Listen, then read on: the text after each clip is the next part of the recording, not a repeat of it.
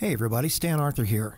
Here's some interview footage that was shot with a Blackmagic Design Ursa Mini 4K EF camera with a Canon uh, EF 28 to 135 zoom lens. Uh, now that lens does go down to 2.8 f 2.8. I'm not sure what this was shot at. It was definitely shot at ISO 400. Um, can't really go above 400 on an Ursa Mini 4K without introducing a lot of noise, fixed pattern noise, and that sort of thing. Um, so what I wanted to do was show you that uh, this was shot on a film profile and what my workflow is within Premiere Pro to make this look the way I want it to look. Uh, first things first, let's pull up, uh, let's go to the Lumetri color panel and let's look at our scopes here. You can pull this way down here. Get a much bigger look at our scopes. The first thing I do typically is I'm going to go to my input LUT, and I've chosen this uh, BMC ProRes because this was shot in ProRes 422 SL profile, and you can see it's quite saturated. And uh, you can also see that it has uh, pull. If I if I uh, reverse that, if I undo that, you can see that the uh, levels have changed quite a bit in the RGB parade. I'm going back to it now, but we're going to go ahead and start there. Uh, I'm like I'm going to go ahead and use a, um, a curves method for a little color correction and and and uh, levels correction here, and get this going. Uh, I'm going to pull up the highlights. All right, going to the blue, and I'm going to pull that up.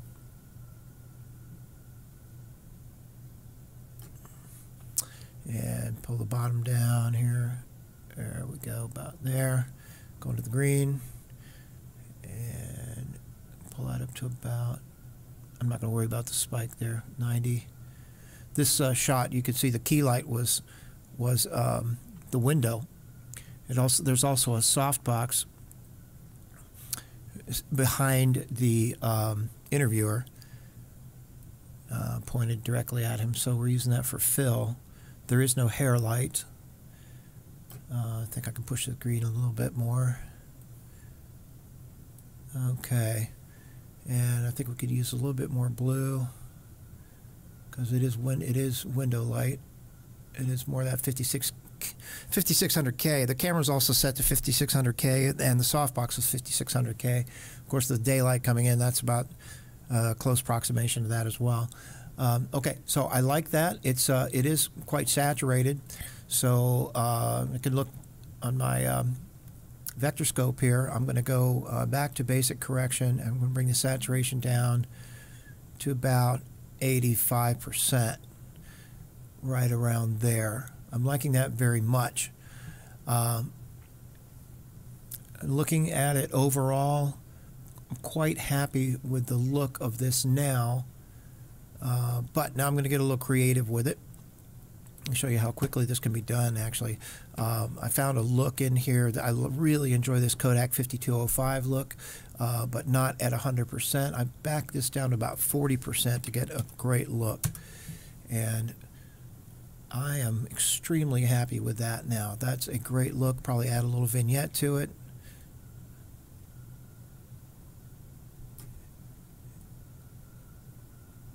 Great. Now let's go to the close-up shot.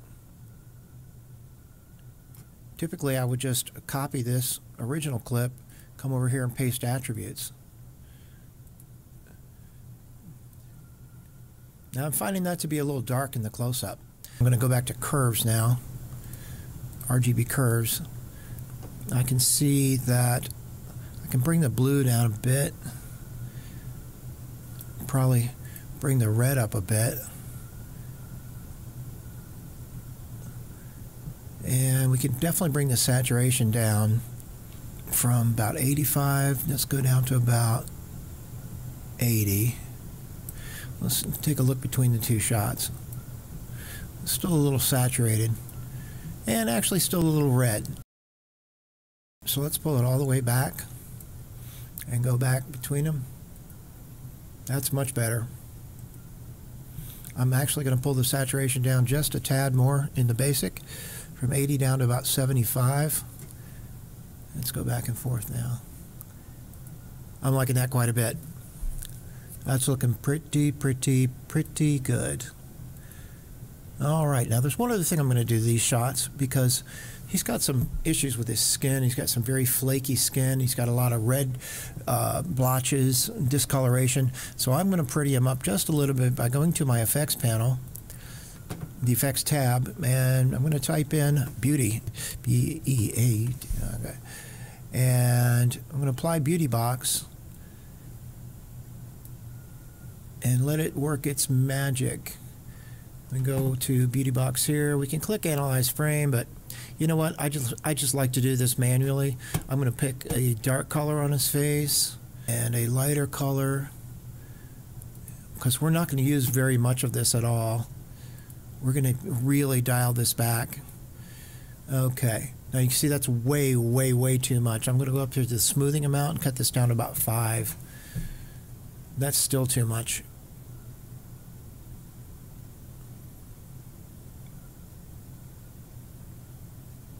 I actually like this at about 2%. And I can the skin detail smoothing, we can bring this down even at zero. Now, you try it. Uh, this is before and after. Before, after. Let's try a little bit more. Let's take this up to five again. There we go. Now we go. This is Beauty Box real time. So it's very easy to use. I'm liking this a lot. Okay, so I'm just going to copy this and I'm going to paste it over to the other one. Let's see how that looks. Yeah. This is a really nice look thanks to that Kodak 5205 film LUT. Yep, this is a really nice look. Well, I hope you enjoyed this little tutorial on using the Lumetri color panel and uh, trying out different LUTs for different looks. Uh, my name is Stan Arthur. If you've enjoyed this, don't forget to like and subscribe. Thanks so much for watching.